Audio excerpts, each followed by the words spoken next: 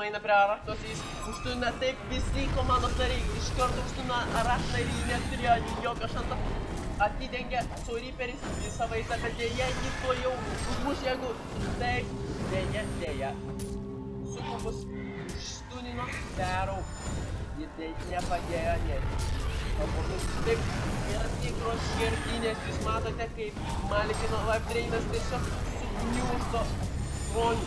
Gaila, gaila, šis pralaimėjimas atsilieps labai blogai Albarno komandai. Rezultatas 18-15 jau pusvalandžiai praėjus nuo mečio pradžios. Atrodo, jog Malikinas tikrai laimingas savo savo Vibe Drainui, kuris jį išgelbėjo nuo pražūties. Deja, aš nesuprantu, kodėl, kodėl Chronoso Ultimate vis tiek neveikia prieš žmonės, kurie yra už jo. Jeigu Chronosas yra jame, jis turėtų apsaugoti jį nuo visokių sukubus, kurie leidžia visokius disablus. Tai yra didžiausiai šio Ultimate blogoj pusė. Ir taip Taveris pušinimas šį kartą iš kitos pusės, tai Legionas bando pušinti Taverį, neaišku, taip dinaina Taverį ir taip gerai padaro, nudinaino Taverį, pirmasis Taveris, centro nuimtas iš Helporno pusės. Atrodo, jog šiek tiek atsitiesė. Šiek tiek atsitiesė.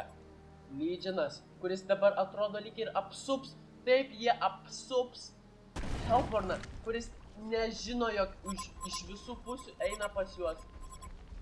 Lyčinas. Ne, visgi jie paima vienas po vieną ir spėja apsukti Lyčinas.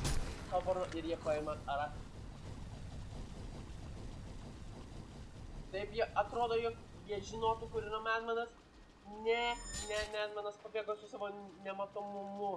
Taip, taip, labai sunku lošti, kai daug priešų nariai gali būti nematomi. Ir taip, Menmanas su Nighthoundu pagauna su Reaper ir padeda, bando padėti, visgi jam Parametris tik nieko neįstengia padaryti. Gaila, gaila.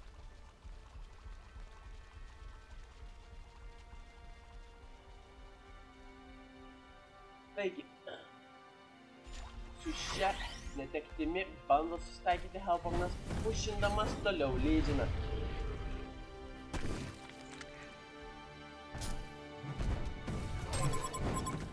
Atrodo, jog mūsų ne bando pablinkinti, jog Nighthoundų maža gyvybė, bet niekas negali ateiti laiku, o man kažkodėl labai lagina. Wow, kaip man lagina, aš nesuprantu kodėl. Taip lyg ir vagas baigėsi. Ne, jis nesibaigė. Man vis dar lagina toliau. Ir tai yra tikrai labai nemalonu.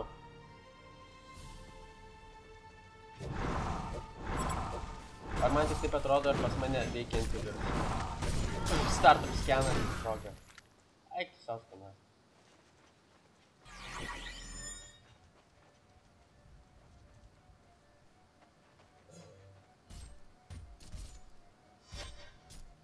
Visgi nodas pačiu negeriausiu laiku sugalvojęs.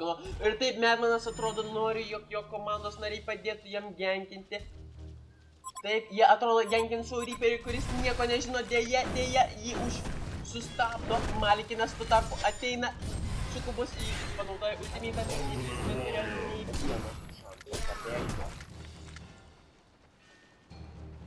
Atrodo, jog Lydžinas nori atgauti savo pranašumą ir pušinti toliau.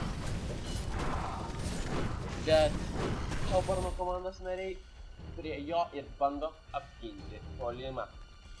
Taigi, tikrai įtemptas mečas, neaišku, kad jį tą laimėti.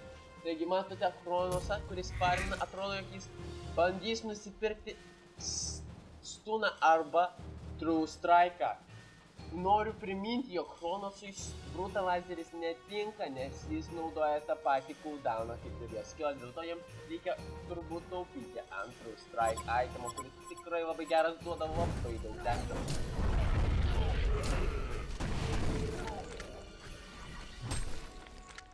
Tuo tarpu Pebblesas irgi pamina, jis jau turi hack and slashą, tai tikrai labai keistas itemas Pebbleso buildui. Taip. Tuo tarpu Pharaoh gauna Abyssal Skull, kuris pridės lifestealą visai komandai. Tai tikrai geras. Itemas genk. Taip, sukubus pasigamino Nullstone, kuris mano nuomonė nėra toks geras kaip Sukraftišau Stone'as. Bet kiekvienas turi savo pomėgį. Taip, Arachna toliau farmina, atrodo, jog jį taip jį gaminsis Wingbow, jį jau turi Steam Staffą, kuris yra pats pigiausias Wingbow dalis. Tuo tarpu bando atremti. Taip, jie randa, jie randa Nighthoundą, bet jie negali nieko padaryti, nes jis yra nematomas, nesuprantu, kodėl niekas nenusiperka akies, tai viso labo 700 godo. Beveik visi komandos nariai turi turėti. Taip, tiek Pyromanceris, tiek Soul Reaperis, jiem įgrysto Nighthoundas ir Nedanas, dėl to jie turi dulkių, bet visgi už dulkės yra geriau akis, jie atidengia, bet jie nieko nepamato, dėja, tai labai blogas laikas.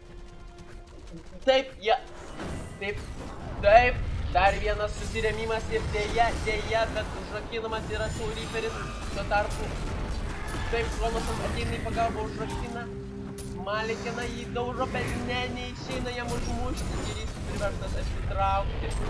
Tuo tarpu Firemantis gauna labai stipriai ir išmušta.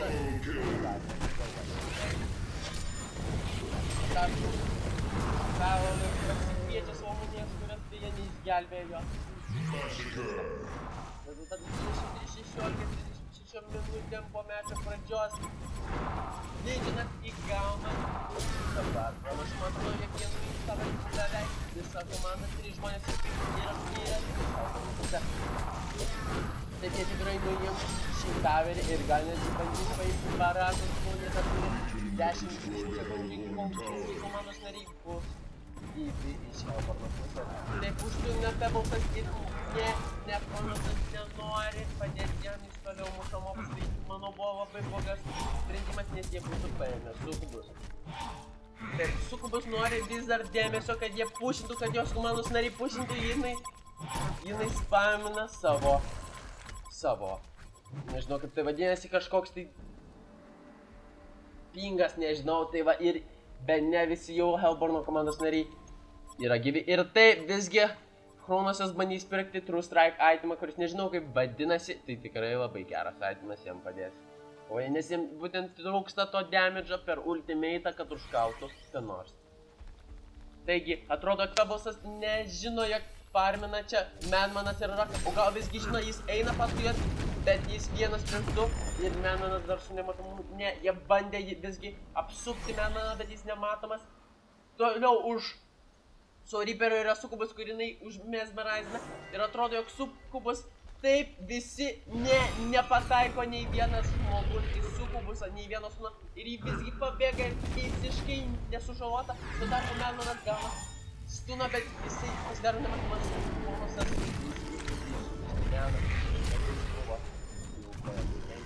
Taip, tuo tarpu Nighthoundas taip atrodo lyg ir Nighthoundą pamatė, bet jis su pora gyvybių pasislėpė, nes jis buvo nematomas, o jo neaptiko. Neaptiko, dulkės.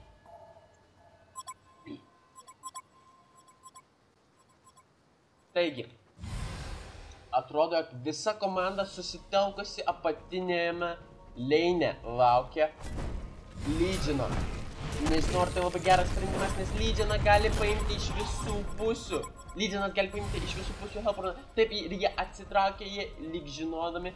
Taip, tuo tarpu Lydžinas susitelkia prie savo daverių, jie galvoja, jog juos pušins. Helpornas iš dešinės. Tuo tarpu jie viską, ką mato, yra viena veiva mobų. Taigi, farmimas toliau vyksta ir žiūrime, žiūrime į efektus. Kadangi,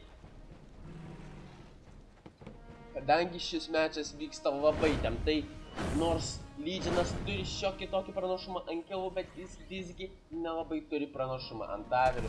Pažiūrėsime, kaip tai jiems. Taigi mes žiūrime, Nighthoundas taupo, taip jis turi du Warhammeris, jis taupys ant kaip jis vadinasi, jis taupys ant kažkokio labai gero itemo, kuris nepamenu kaip vadinasi.